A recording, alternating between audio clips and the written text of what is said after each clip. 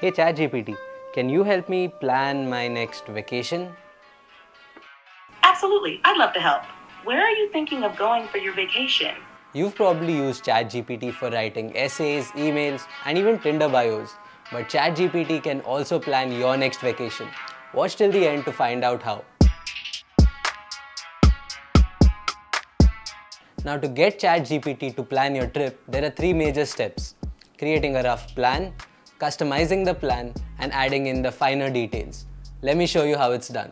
The first step is deciding where you want to go and for how long. I wanted to go to Japan, but I wasn't sure about where in Japan. Let's ask ChatGPT. So my first prompt is going to be, what are the cities to visit in Japan as a tourist? As you can see, ChatGPT has suggested a bunch of beautiful Japanese cities to choose from. The list is highlighted by Tokyo, Kyoto and Osaka. That's what I'm going to pick. Next, I need to know how long I should be in Japan for. Let's ask ChatGPT. So I'm going to type, how long should I visit Japan for if I want to go to Tokyo, Kyoto and Osaka? Now ChatGPT suggests I visit Japan for 10 to 14 days. With factors like my rupees 2 lakh budget and office leaves, I decided to lock it in at 11 days. Next, I'm gonna ask ChatGPT what the best time of the year is to go to Japan. And ChatGPT says that if I want to catch the beautiful cherry blossoms of Japan, I need to visit the country between the months of March and May. So April is the ideal time for me. Now let's get to the most important part, creating my day-to-day -day itinerary.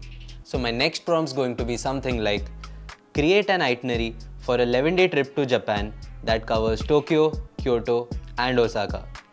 And just like that, ChatGPT has a 11-day plan for me ready in seconds.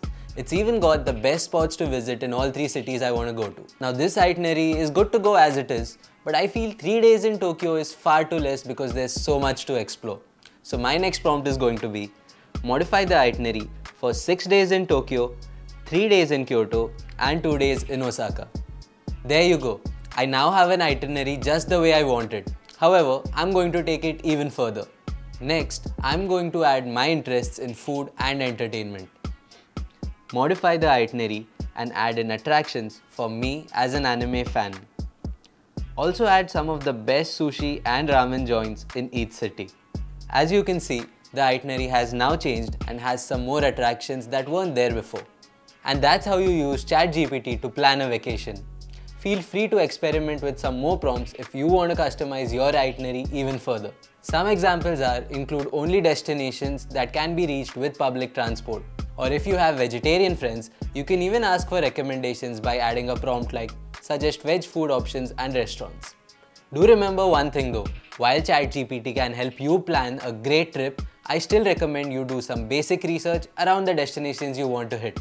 This is because AI tools will not be able to predict aspects like how tired you are or what the weather is like on a particular day. So if you want to visit a particular restaurant on a Thursday instead of a Wednesday, doing some research beforehand will let you know if the place is open on that day or not. How far AI can go when helping you plan a trip might just surprise you. So when you're planning your next vacation, don't forget to give ChatGPT a shot. Happy travels! Subscribe to Unboxed by Croma for more tech tips and trivia.